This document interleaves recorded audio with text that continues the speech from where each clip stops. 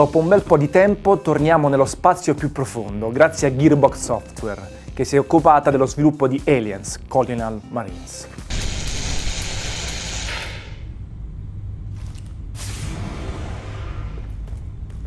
Dai corridoi della Sulaco fino alla superficie della Luna LV-426, il titolo mette a disposizione il classico armamentario della serie, compresi i suoni delle armi.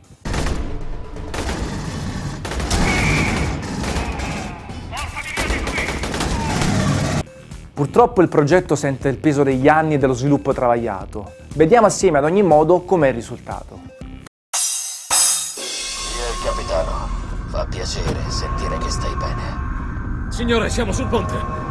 Ma pare che sia troppo tardi. Si può certamente parlare di uno sviluppo travagliato per Aliens Colonial Marines. Dopo l'annuncio del lontano 2006, i lavori sono andati avanti a rilento per vari motivi e solo oggi il gioco arriva nei negozi, portandosi dietro problematiche per certi versi simili a quelle viste in Duke Nukem Forever, ovvero siamo di fronte ad uno shooter un po' fuori dal tempo.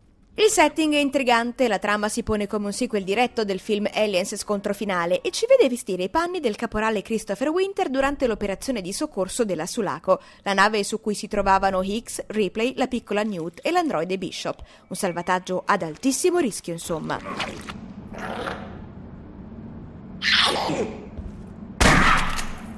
La campagna di Aliens Colonial Marines è composta da 11 livelli e può essere completata nel giro di circa 5 ore, decisamente poco anche rispetto a quanto fatto nel 2010 da Rebellion con Aliens vs Predator. Il protagonista viene quasi sempre accompagnato da altri Marine, elemento questo strettamente legato alla possibilità di giocare la campagna in modalità cooperativa per 4 giocatori. Gearbox non ha però inteso la presenza di alleati come una scusa per uno scripting classico e totale dello svolgimento delle missioni, con i compagni che vanno avanti e noi che dobbiamo seguirli senza sosta. Questa interpretazione ci è stata fortunatamente risparmiata in favore di un approccio più solido, in cui sta a noi operare le scelte e dettare la linea, per poi godere dell'eventuale supporto degli alleati di turno. Possiamo quindi saldare o dissaldare delle porte, disattivare torrette automatiche trovando il percorso migliore per non farci sparare contro ed utilizzare il celebre rilevatore di prossimità. Il rilevatore però non è stato implementato nel migliore dei modi. Dopo qualche esperimento ci troveremo a riporre il dispositivo e a fidarci unicamente del beep emesso quando c'è un segnale molto vicino. Diverso sarebbe stato il discorso se gli xenomorfi avessero spesso approfittato dei canali di areazione per coglierci di sorpresa, ma visto che nella maggior parte dei casi la loro presenza è ben visibile, l'uso dello scanner si limita al puro fanservice. Sul fronte dei nemici c'è una bella progressione. Si passa dai ragni agli xenomorfi classici, dalle varianti prive di vista a quelle che sputano acido da lontano, per finire con gli esemplari più grossi e pericolosi, regina inclusa. In mezzo poi ci sono anche mercenari al soldo della Wayland Yutani. È un peccato che il medesimo approccio non sia stato dedicato alla gestione delle armi, che non solo ci vengono assegnate in modo confuso, ma senza neppure la dovuta valorizzazione. Abbiamo a disposizione quattro armi base con tanto di alcune varianti. Ognuna di queste armi può essere potenziata accedendo all'apposita schermata.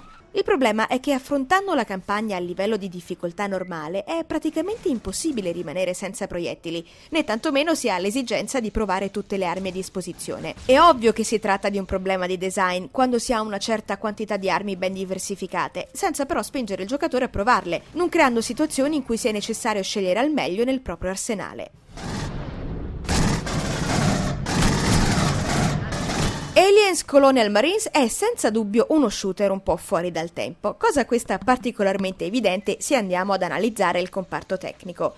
Il titolo gira su di una versione modificata della Real Engine 3, dotata di una resa delle luci e delle ombre più che buona, aiutata anche da un level design azzeccato. Purtroppo però i punti di forza terminano qui e lasciano spazio a un bel po' di perplessità, soprattutto riguardo alla qualità dei modelli poligonali e il grado di rifinitura generale. Non siamo assolutamente a livello delle ultime produzioni su console e in ambito PC il confronto con Crysis 3 è impietoso. Stiamo parlando davvero di generazioni differenti. Che Gearbox abbia lavorato su Xbox 360 e PlayStation 3 per poi convertire su PC appare palese anche dalla mancanza di opzioni avanzate per la grafica, cosa che lo mette in difficoltà anche nei confronti di un titolo come Aliens vs Predator di Rebellion uscito tre anni fa, superiore in tantissimi comparti, dalle animazioni agli effetti speciali ad esempio. Per fortuna è stato fatto di meglio per il comparto audio che vanta non solo le musiche originali del film, ma anche un doppiaggio in italiano molto ben fatto. Cercheranno di disattivare il sistema missilistico. Che cazzo succede? Aliens Colonial Marines è senza dubbio un titolo solido e non scriptato, come alcuni recenti FPS, ma allo stesso tempo soffre per via di mancanze tutt'altro che marginali. Stiamo parlando della campagna single player, breve e mal bilanciata, dell'arsenale che non viene adeguatamente valorizzato, di una realizzazione tecnica ben al di sotto degli standard attuali e priva di quei particolari che fanno capire quando una produzione non è ben rifinita. È il problema di quei videogame che affrontano qualche difficoltà durante lo sviluppo e arrivano sul mercato in netto ritardo, portandosi dietro idee e contenuti ormai vecchi.